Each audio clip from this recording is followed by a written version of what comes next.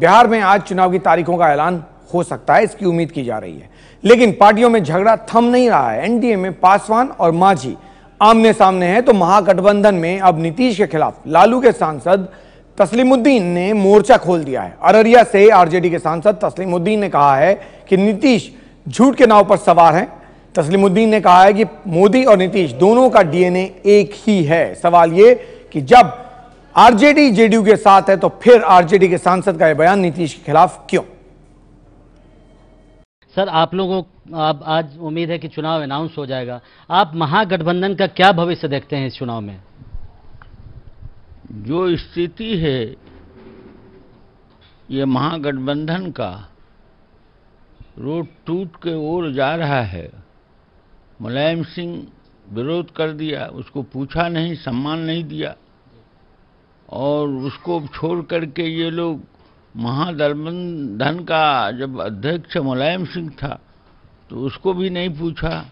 और अपने पार्टी का जो उनका लालू जी का एमपी था या जदयू का एमपी था, उसको भी मंच पर नहीं गया। मैं गया था किसी तरह फान करके तो हमको बोलने का भी इजाज़त नहीं दिया।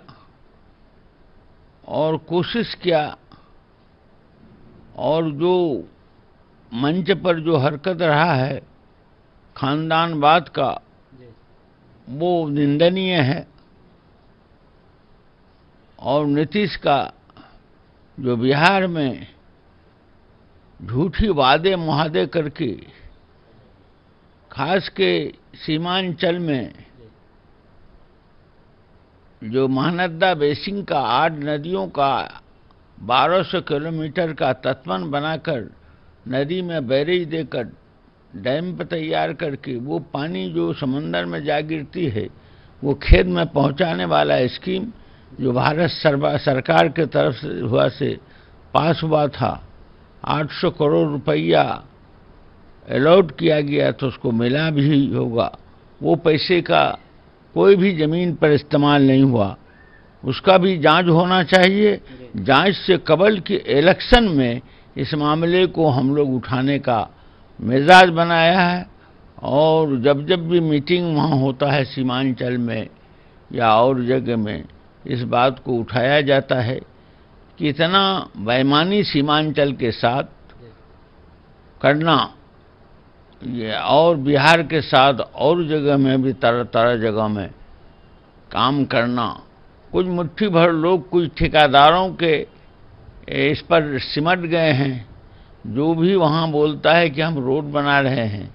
तो भारत सरकार का जो पैसा था, प्रधानमंत्री सड़क का, उसी पैसे के दो भाग में, चूँकि पहले अलग अलग एजेंसी था, अब एजेंसी दोनों को एक ही इंजीनियर को दे दिया गया है।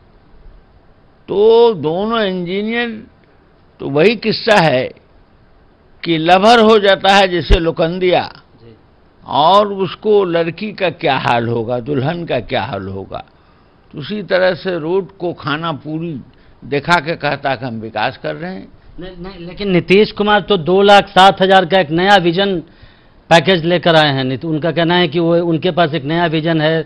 नरेंद्र मोदी ने जो पैकेज अनाउंस किया उसके बाद उन्होंने भी एक पैकेज अनाउंस कर दिया एक तरीके से। वो पैकेज ही ऐलान करता है चूँकि जिस तरह का पैकेज मोदी जी ऐलान करते हैं और वैसी तरह का पैकेज वहाँ का नीतीश जी ने ऐलान करता है। दोनों एक ही स्कूल का विद्यार्थी है। दोनों एक ही क्या कहते हैं। डीएनए से वाबिस्ता है। अच्छा। और दोनों एक ही जगह से आए हैं। अरे जो लाठी पार्टी है ना भाई भाजपा का तो नीतीश भी तो वहीं था। तो ये दोनों का अलग अलग कुछ नहीं है। तो नीतीश का भी नीतीश कुमार का भी डीएनए एक ही है क्योंकि नरेंद्र मोदी ने जब डीएनए का सवाल उठाया तो नीतीश कुमार तो डीएनए सैंपल भेज रहे हैं। डीएनए ना, नाखून काट के बाल काट के प्रधानमंत्री को भेज रहे हैं। तो डीएनए का डीएनए डीएनए का आपको लगता है कि वो तो मुद्दा उठा रहे हैं? सवाल उठता है कि डॉक्टर की हाँ आजकल जो है नहीं डॉक्टर भी मर्डर होता है, उसको लिख दिया एक्सीडेंट मौत होता है। और डीएनए भेज रहा है, ये तो वो खाना पूरी कागज़ खा। वो आजकल आपको जानते हैं कि मोदी का जो प्रचारक था यहाँ, वो प्रचारक जो है नहीं साज और आवाज़ के साथ नीतीश बजा रहा है। हमको नहीं लगता है। नीतीश भी कहीं ना कहीं दोनों का कमज़ोरी है। कहीं न कहीं जाकर के मिल जाए। इसलिए हम लोग सावधान हो रहे हैं।